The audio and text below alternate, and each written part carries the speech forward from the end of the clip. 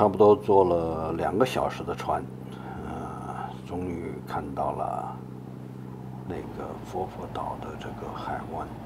虽然这个岛早就看到了，因为在海上很远都可以看到它，但是这个佛佛岛这个海湾马上转过这个石头就是了。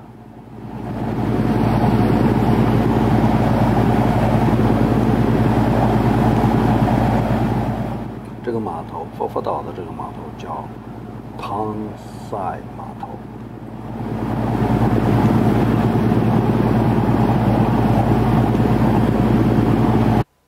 一上码头，有人喊我的名字，把我还吓了一跳，谁原来是旅馆的人来接我的。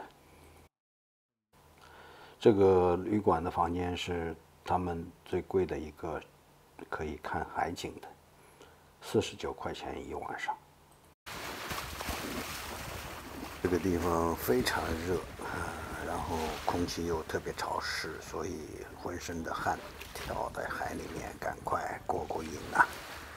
这里的海水温度非常的好，你不凉不热的，嘿嘿。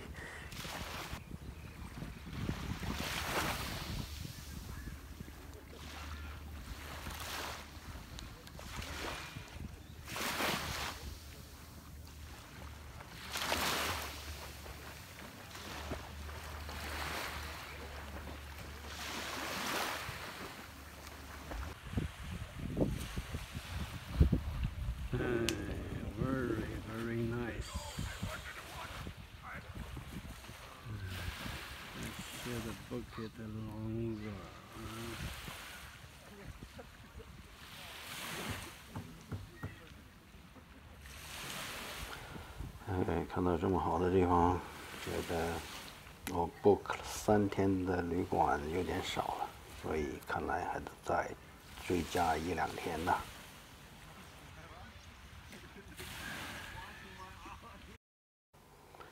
好多地方都不敢动用无人机呀。我是觉得这个海岛这里应该没人管吧，所以放出来试试，看一看这个佛佛岛的大好景色呀。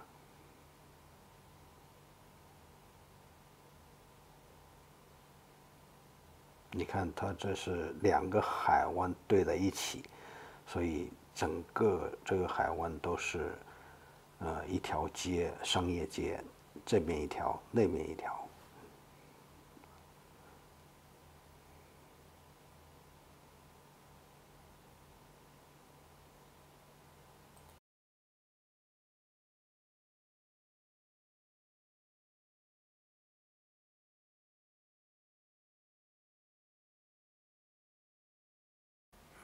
看这下面有临海的四个小屋顶。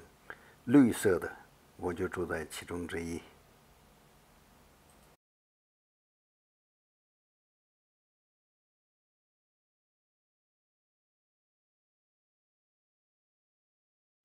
这地方简直太美了，两个海湾，两个沙滩对着的，那边北边一个，南边一个，所以说呀，嗯，太好了，这地方。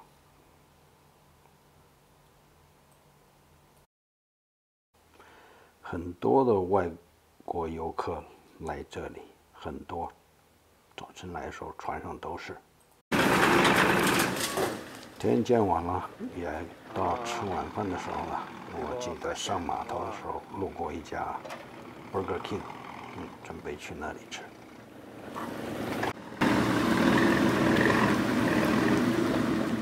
嗯，有人在这个海边钓鱼。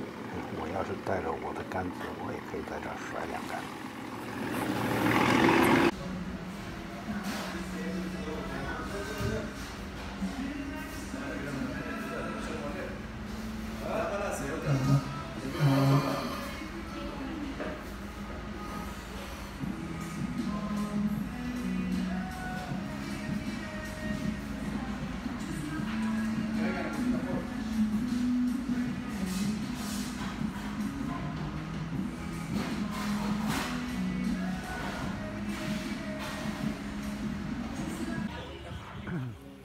吃完了饭，在小镇上面逛一逛，发现因为这两个是海湾组成的，所以说这个整个这个湾，整个这个海湾旁边都就被这么一条商业街给连着的。我开始不知道，后来发现哦，好长啊。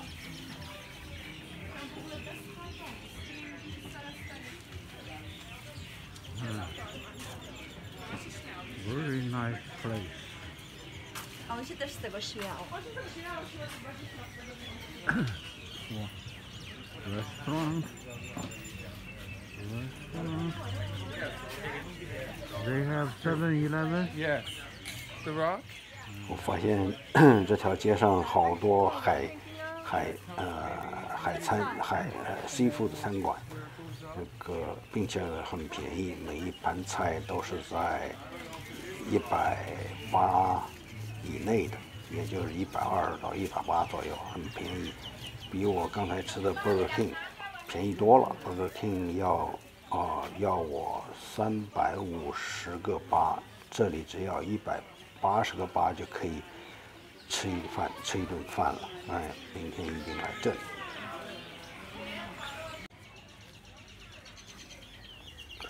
你可以看到小镇上面的商业气息很浓啊，都是跟这个本地的旅游特色有关系的。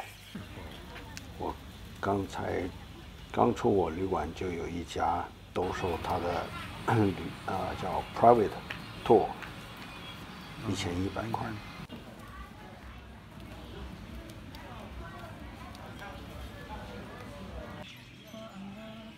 Look how nice this little town here.